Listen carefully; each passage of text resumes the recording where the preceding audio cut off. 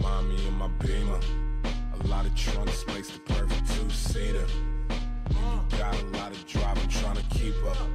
But it's not a lot of miles on your meter.